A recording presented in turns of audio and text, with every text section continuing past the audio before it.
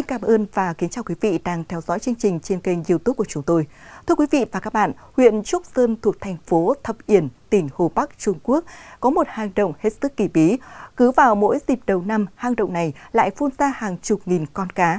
Thế nhưng khi các chuyên gia tới tìm hiểu, họ lại toát mồ hôi lạnh và nghiêm cấm người dân đánh bắt loại cá này. Vậy rốt cuộc hang động này ẩn chứa những bí mật gì? Hang động này có tên Lưu Ngư Động, bề ngoài trông chẳng khác gì những hang động thông thường với kích thước khá nhỏ. Điều khác biệt nằm ở chỗ, cứ mỗi dịp Tết Thanh Minh hàng năm, Lưu Ngư Động sẽ phun ra hàng nghìn kg cá. Vì vậy, cứ mỗi dịp trước, trong và sau Tết Thanh Minh, người dân quanh đó đều chuẩn bị sẵn dụng cụ để tới hang động bắt cá về ăn hoặc buôn bán. Họ coi đó là lộc trời được ban xuống mỗi năm. Những con cá này có màu bạc, kích thước khá to, khi chết sẽ dần chuyển sang màu đỏ tươi. Loại cá này có hương vị rất thơm ngon, hầu như không có xương, chỉ có một xương sống chạy dọc lưng. Vì thế, nhiều người dân địa phương rất thích ăn loại cá này. Khi bán cũng rất chạy. Câu chuyện về hang động nhả ra cá cũng thu hút sự tò mò và quan tâm của nhiều người. Đến năm 2012, các chuyên gia đã tới đây để khám phá tìm hiểu. Thật không ngờ, sự thật đáng kinh ngạc về lưu ngư động đã được phát hiện. Sau khi đi sâu vào hang để tìm hiểu, chuyên gia hết sức sửng sốt và thốt lên, loại cá này không thể ăn được. Điều này đã khiến người dân không khỏi bất ngờ, bàng hoàng. Hóa ra đây là một loại hóa thạch sống được bảo vệ quốc gia cấp độ 2. Loại cá này có tên khoa học là Scaphithis macrolepis. Sở dĩ chúng được gọi là hóa thạch sống bởi chúng vẫn giữ nguyên hình dáng không thay đổi từ giai đoạn trứng nước của lịch sử tiến hóa và không có bất kỳ họ hàng gần gũi nào còn sinh tồn. Scaphithis macrolepis còn được gọi là cá vây đỏ Thái Sơn. Chúng được liệt vào một trong năm loại cá tiến vua có giá trị nhất thời xưa. Cá vây đỏ Thái Sơn là loài cá nước ngọt, thịt mềm, vị thơm ngon mà không tanh, có tác dụng cải thiện thị lực. Chúng là món ăn bắt buộc phải có trong các bữa ăn của hoàng gia.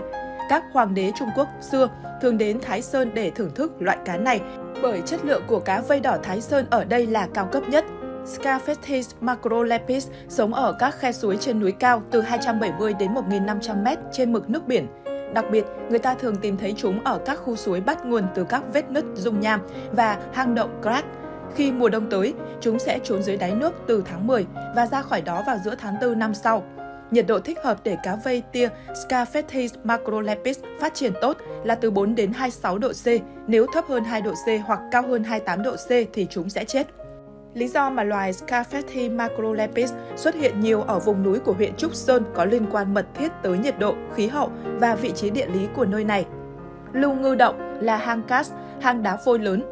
Lòng hang rất rộng, có nhiều măng đá, nhũ đá. Khu vực quanh hang động này có nhiệt độ trung bình hàng năm là 16 độ. Lượng mưa khoảng 770mm và thời gian không có giá lạnh là khoảng 250 ngày.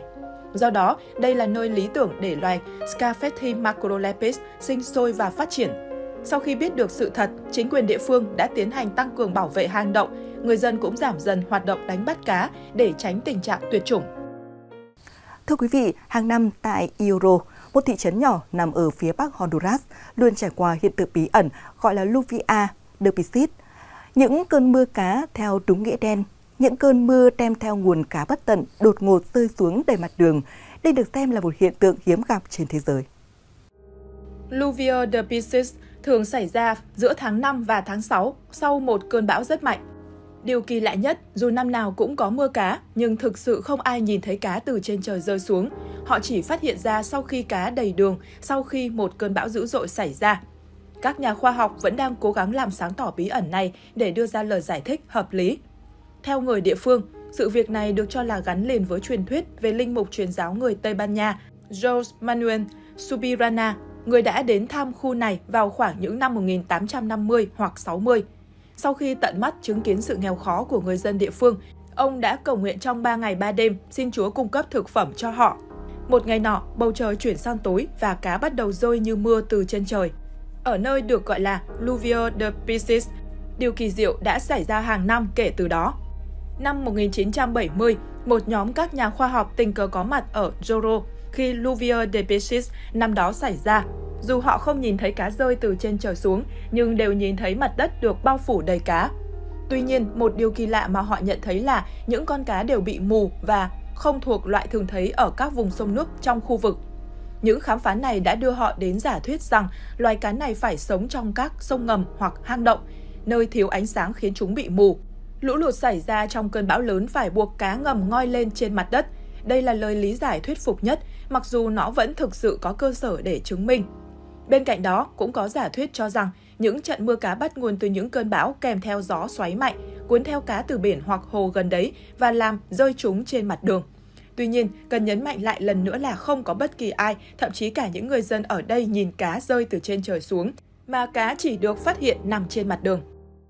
Mới đây, các nhà khoa học Nhật Bản đã phát hiện và đào sâu tìm hiểu về xác ướp nàng tiên cá được thờ cúng tại một ngôi đền ở tỉnh Okayama, Nhật Bản. Nhóm nghiên cứu tới từ Đại học Khoa học và Nghệ thuật Kurashiki cho biết họ sẽ công bố những phát hiện mới vào mùa thu này. Hồi tháng 2, nhóm nghiên cứu thuyết phục thành công đền Enjuin cho phép họ đưa mẫu vật dài 30cm tới phòng Quest City của Bệnh viện Thú y tại Đại học Khoa học Nghệ thuật Kurashiki. Hình dạng của xác ướp này từ lâu khiến các nhà khoa học bối rối. Hai tay của mẫu vật đưa lên gần mặt, ngoài móng tay và răng, xác ướp có lông trên đầu và vảy ở phần thân dưới. Các nhà nghiên cứu cho rằng xác ướp có thể bao gồm phần thân của một con khỉ được gắn vào đuôi một con cá. Phần tóc và móng tay nhiều khả năng là của con người. Theo ghi chú trong hộp đựng xác ướp, mẫu vật mắc vào một lưới đánh cá ở ngoài khơi, tỉnh Kochi, trong khoảng thời gian từ năm 1736 đến năm 1741. Mẫu vật này được một ngư dân bán lại cho một gia đình giàu có trước khi được đền Enjuin mua lại. Xác ướp nàng tiên cá có phần giống với hai sinh vật thần thoại trong văn hóa dân gian Nhật Bản. Amabis, nàng tiên cá có mỏ thay vì miệng và ba vây đuôi riêng biệt. Nigiok, sinh vật sống cá có đầu người. Cả hai sinh vật này đều gắn liền với các truyền thuyết về chữa bệnh và kéo dài tuổi thọ. Xác ướp trước đây được trưng bày trong tủ kính để du khách tới cầu nguyện, nhưng sau đó được đặt trong két chống cháy để ngăn nó bị xuống cấp.